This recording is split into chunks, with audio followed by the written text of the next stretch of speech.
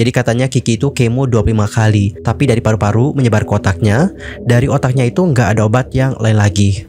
Bahkan ya guys, topik mengenai netizen yang mengomentari tentang agama Kiki ini itu sudah dibahas Halo guys, I'm Sulkim. Welcome back to my YouTube channel.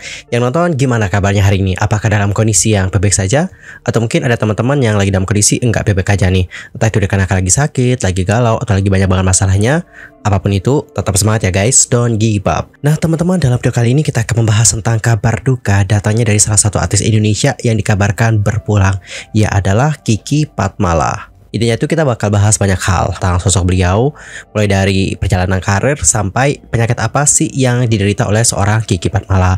Untuk pertama mungkin kita akan kenalan dulu ya dengan sosok Kiki Patmala, karena mungkin ada teman-teman yang masih belum terlalu mengenal sosok beliau. Nah Kiki Patmala itu lahir pada tanggal 26 Oktober tahun 1969. Dan diketahui lebih lanjut bahwa Kiki merupakan anak yang memiliki darah keturunan Sunda dari sang ayah, dan darah Pakistan dari ibunya. Dan beliau diketahui menikah sebanyak tiga kali. Pernikahan pertamanya itu dengan Antonius Salomata pada tahun 1987 hingga 1988. Kemudian pernikahan keduanya itu bersama dengan Christian Preschel dari tahun 2003 sampai tahun 2006. Dan yang terakhir atau pernikahan ketiganya itu bersama dengan Christopher. Dan pernikahannya dengan Christopher itu dimulai dari tahun 2020 sampai yang sekarang ini.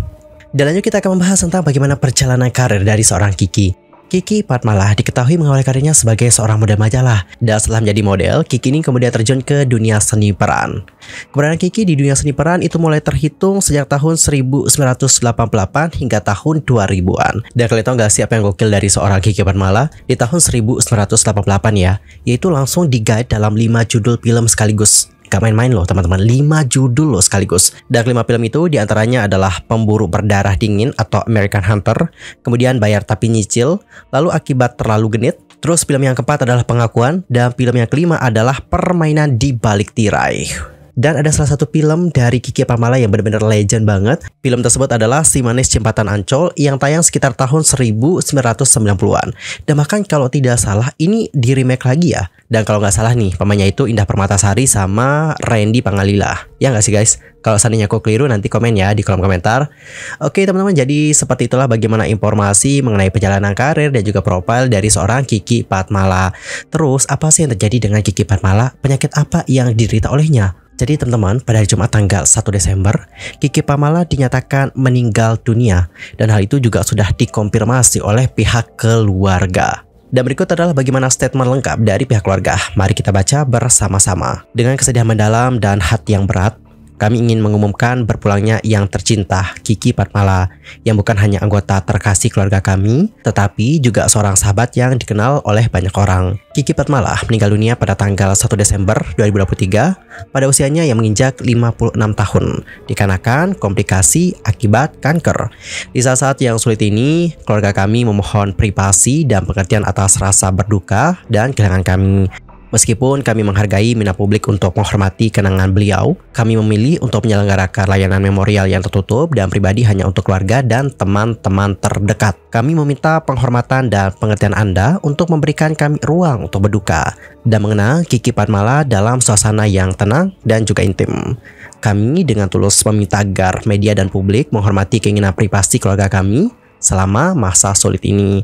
Pernyataan ini adalah satu-satunya komunikasi resmi dari keluarga dan kami tidak akan memberikan wawancara atau pernyataan tambahan selain ini.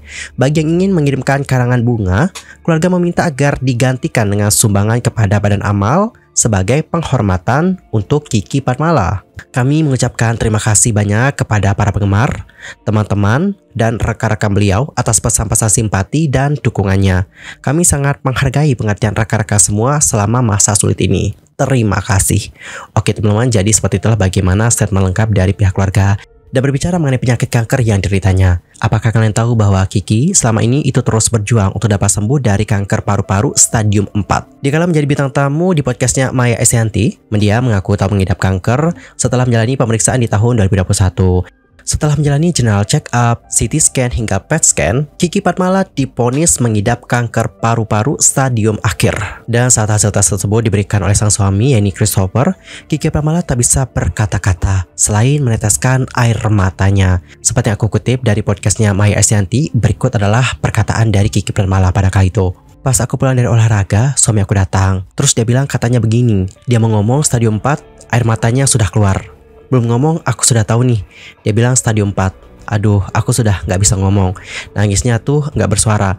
Nangisnya tuh cuma keluar air mata, enggak stop, lemes deh. Sedih juga sih, kebayang sih pada kala itu. Pasti berat banget bagi sang suami untuk menyampaikan hal itu kepada sang istri.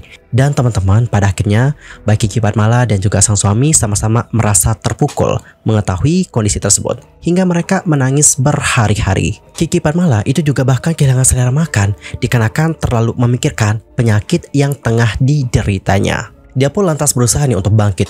Kiki dan suaminya lantas membicarakan langkah apa sih yang bisa dilakukan untuk dapat sembuh. Mengingat kondisi kankernya yang sudah stadium 4. Di mana kan kalau sudah di tahap ini itu identik dengan kemoterapi dan belum lagi ditambah dengan efek sampingnya hingga tak menutup kemungkinan kanker itu menyebabkan kematian. Namun Kiki Parmala dan sang suami tetap mengharapkan akhir yang baik dan mereka juga sudah menyiapkan mental untuk akhir yang buruk. Saat itu, sang suami mengingatkannya agar mempersiapkan soal kuburan hingga warisan untuk keluarga yang akan ditinggalkan. Kiki Patmala lebih lanjut menjelaskan, yang sudah diomongin sama dia. Kamu harus berpikir ke depan kuburnya di mana. Terus sudah begitu dia bilang, kamu juga belum bikin warisan. Kamu enggak punya anak. Kamu harus bikin warisan. Dikarenakan yang ditinggalkan biasanya suka ribut. Bener juga sih. Jadi untuk menghindari yang namanya keributan ini dan juga ya konflik di kemudian hari, maka harus dibuatkan yang namanya wasiat warisan. Kiki mengatakan kembali, suami mengingatkan, karena aku nggak punya anak, siapa yang mau kamu kasih? tulis semua, telepon notaris semua. Dua hari itu yang diomongin itu. Dan dilansir dari detik.com, Kiki dan suami akhirnya terbang ke Singapura nih untuk melakukan penyembuhan dengan metode radiasi. Ia pun mengungkapkan kondisinya membaik setelah menjalani perawatan sekitar 6 bulan. Namun guys, sang suami mengakui bahwa kondisi kesehatan istrinya mulai kembali terganggu pada Desember 2022. Pada kala itu, kanker Kiki yang sempat membaik ini disebut kembali kambuh. Dan kalian tahu gak sih bahwa ternyata kanker yang datang kali ini nyatanya sudah menjalar lebih ganas Christopher mengakui bahwa pada kala itu kanker Kiki disebut sudah menyebar ke bagian otak. Dikarenakan hal itu, Mendiang kembali menjalani serangkaian perawatan untuk menyembuhkan penyakitnya tersebut. Disebutkan oleh sang suami bahwa Kiki sudah berpuluh-puluh kali melakukan kemoterapi. Oke, seperti yang aku kutip dari detik.com, beginilah statement dari sang suami. Jadi katanya Kiki itu kemo 25 kali, tapi dari paru-paru menyebar ke otaknya. Dari otaknya itu nggak ada obat yang lain lagi. 25 kali loh teman-teman. Christopher juga mengakui bahwa Kiki sudah berpasrah terkait kondisi kesehatannya. Dan bahkan sang istri sudah tak mau lagi dirawat di rumah sakit dan memutuskan untuk tetap berada di rumah. Dan karena hal itu pun pihak keluarga mengambil keputusan untuk enggak dirawat di rumah sakit dan dirawatnya di rumah saja. Kepasrahan dari Kiki juga disebut Christopher ditunjukkan dengan mempersiapkan sejumlah wasiat seperti keinginannya agar kerabat dan keluarga tak mengirim karangan bunga saat dirinya meninggal. Kiki kata Christopher mengaku lebih ingin uang yang dihabiskan untuk karangan bunga itu disumbangkan ke gereja atau orang-orang yang membutuhkan.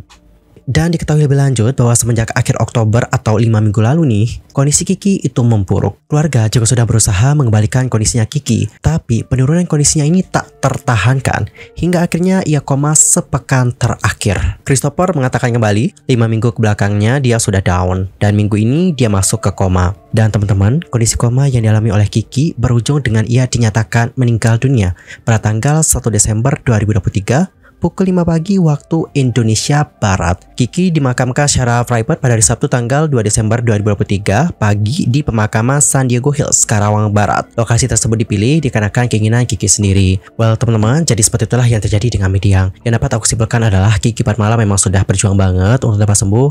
Namun apa mau dikata, Tuhan berkehendak lain. Dan guys, kalian tahu gak sih apa yang miris ketika Kiki dikabarkan meninggal dunia? Yaitu komentar beberapa oknum netizen dikarenakan mereka menyinggung tentang agama dan juga menyinggung tentang keputusan Kiki untuk berpindah agama.